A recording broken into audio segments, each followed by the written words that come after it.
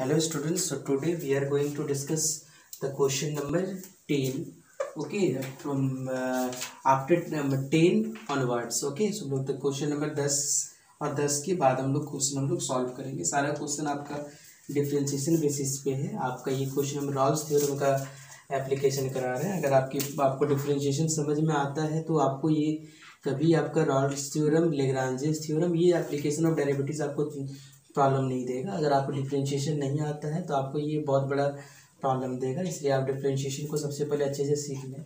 अगर डिफ्रेंशिएशन नहीं आएगा तो बाकी सारा जो कैलकुलस वाला पार्ट आपका समझ में नहीं आने लगेगा तो आप देख लें यहाँ पे इसको। तो सबसे पहले ये तो दिया हुआ है आपका। इसको हम लोग क्या करते हैं? इसको हम लोग सबसे पहले तो ये आपको दिखा, दिख ही रहा होगा। ये एफ़ एक्स जो है एफ़ एक्स इक्वल्स टू क्या है आपका?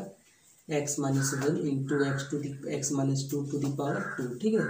तो it is a polynomial function is a polynomial function ये आपका पॉलिनोमियल फ़ंक्शन है, ठीक है? इज़ ए पॉलिनोमियल फ़ंक्शन ठीक है? ये पॉलिनोमियल फ़ंक्शन है, ठीक है? In terms of in terms of x hence इसलिए यहाँ पे क्या होगा? F of x is f of x is कौन सा फ़ंक्शन हो गया, ये आपका सॉरी क्या हो गया? ये f x is continuous function ठीक है? एफ़ एक्स क्या होगा आपका?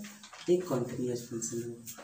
अगर ये आपका ये कंटिन्यूस फ़ंक्शन होगा तो आपको पता होगा डिफ्रेंशिएशन इसका कर लेते हैं हम लोग। तो इसका डिफ्रेंशिएशन क्या होगा बताएँ। यू इंटू वी के रूल में आप तोड़ना चाहेंगे तो यू इंटू वी के रूल में टूटेगा, या तो आप उसको पूरा मल्टीप्लाई करके भी बना सकते हैं। तो ये आपके ऊपर डिपेंड करेगा कि आप कैसे बना रहे हैं, ठीक है? हम इसको मल्टीप्लाई कर देते हैं तो देख लें मल्टीप्लाई करेंगे तो क्या आएगा आपका, जैसे एक्स माइनस वन है। इसकी ये तो ए माइनस बी का होल स्क्वायर में टूट जाएगा तो a square minus two a b plus b square हो जाएगा। और एक्स से अगर इसको हम लोग मल्टीप्लाई करेंगे तो क्या होगा एक्स क्यू माइनस क्या होगा फोर एक्स स्क्वायर प्लस क्या होगा four x minus x square plus four x minus क्या आ जाएगा फोर तो ये आपका आ जाएगा क्या एक्स क्यू माइनस फोर और one five x square four four eight x और ये माइनस क्या आ जाएगा? फोर आ जाएगा। ये तो आपका एफ़ एक्स आ गया। अब इसका हम लोग डिफ्रेंशिएशन करेंगे। तो पता होगा इसका डिफ्रेंशिएशन होगा थ्री एक्स स्क्वायर इसका होगा आपका टेन एक्स प्लस क्या होगा? एट और ज़ीरो का फोर का ज़ीरो हो जाएगा, ठीक है? तो ये तो आपका डिफ्रेंशिएशन हो गया आपका। इसका ये जो डिफरेंटेबल फ़ंक्शन होगा बिकॉज़ ये सारा इसका जो वैल्यूज़ होगा, वो एग्जिस्ट करेगा। कहाँ एग्जिस्ट करेगा? इस मतलब लिख सकते हैं एप्टेस the value of the value of all the all the values of, all the values of एप्टेस एक्स ठीक है? Clearly exist clearly exist exist in कहाँ एग्जिस्ट करेगा? वो आपका ऑपरेटर एग्जिस्ट करेगा इसका। तो ये आपका क्या एक डिफरेंटेबल फ़ंक्शन हो गया? आप लिखते हैं यहाँ पे। F is x is differentiable function हो गया आपका। ये आपका एक डिफरेंटेबल फ़ंक्शन होगा आपका। और नेक्स्ट जो है, अगर ये डिफरेंटेबल फ़ंक्शन हो गया तो नेक्स्ट हम लोग क्या करेंगे? एफ़ ऑफ़ ए और एफ़ ऑफ़ बी का वैल्यू हम लोग चेक करेंगे। तो तीसरा होगा आपका, तीसरा ऑप्शन में आ जाएगा क्या? एफ़ ऑफ़ एक्स मतलब एफ़ ऑफ़ एक्स का वैल्यू हम लोग यहाँ पे लिख लेते हैं। F of x equal to क्या है आपका? ये इसको भी लिख सकते हैं आप, या तो इसको भी लिख सकते हैं। तो हम आपको ऊपर वाला ही लिखते हैं, ताकि आपको कैलकुलेशन करने में बहुत आसानी हो। ठीक है, ये हम सबसे पहले वन बैठा रहे हैं। अगर वन बैठाएँगे तो क्या होगा? वन माइनस वन, फिर वन माइनस टू का square one minus one means क्या होगा? ज़ीरो होगा। फिर अगर हम लोग टू बैठाएँगे तो क्या होगा? Two minus one into two minus two का होल स्क्वायर मीन्स ये भी क्या होगा? ज़ीरो होगा। ठीक है? तो यहाँ से क्या आ गया आपका f of one equals to क्या हो गया? एफ़ ऑफ़ टू ये आपका f of one equals to क्या आ गया? एफ़ ऑफ़ टू आ गया. Hence Rolle's theorem is applicable hence Rolle's theorem is applicable Rolle's theorem is applicable Rolle's theorem क्या होगा? एप्लीकेबल होगा. अगर एप्लीकेबल होगा रॉस थ्योरम तो हम लोग यहाँ पे लिख सकते हैं. Then there exist then there exist then there exists a value. C यानी c एक रियल नंबर है such that such that f dash c equals to क्या होना चाहिए? आपका ये ज़ीरो होना चाहिए, ठीक है? तो आपका एफ़ डैश सी का ये वैल्यू है आपका। तो three c square minus ten c plus eight equals to zero होगा।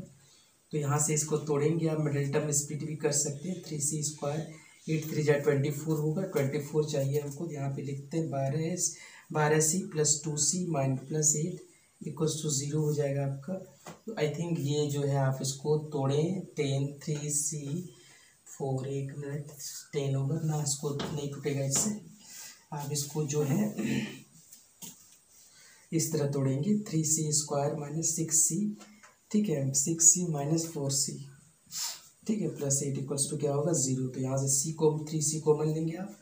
तो यहाँ पे सी माइनस क्या होगा? Two minus four c minus क्या होगा? टू इक्वल्स टू ज़ीरो तो यहाँ से आपका आ जाएगा क्या? एक सी इक्वल टू टू आ जाएगा, एक सी इक्वल टू आपका फोर बाई थ्री होगा।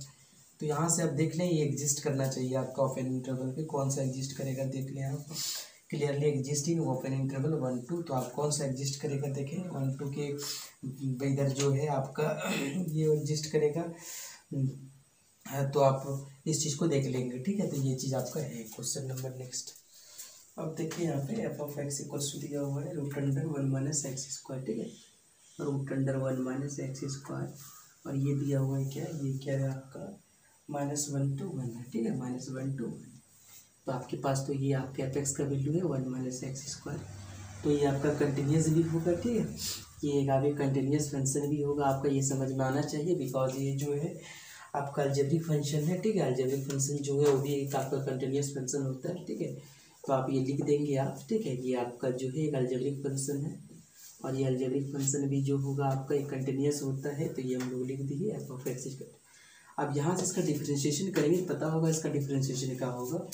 रूट का तो पता होगा आपको क्या होगा एफ़ एक्स इक्वल्स टू ये दिया हुआ है। रूट का तो होगा आपका वन बाई ये समथिंग होगा। One by two root s ये हो जाएगा आपका, ठीक है, हम लिख देते हैं। वन बाई टू ये आ जाएगा आपका एक्स स्क्वायर का होगा माइनस टू एक्स ये कट गया आपका एक्स बाई क्या होगा आपका? रूट अंडर वन माइनस क्या होगा? एक्स स्क्वायर तो उसी तरह करके सारे कुछ यहाँ पे लिख लेंगे आप, यहाँ पे यहाँ पे सारा माइनस वन टू वन होगा यहाँ पे। उसके बाद सारा आप लोग बनाएँगे इस तरह करके। तो देखिए क्या आएगा इसका। इसका जो है, आप अगर इसको बनाएँगे, इसका वैल्यू देखिए निकाल के कि इसका वैल्यू क्या आने वाला है इसका।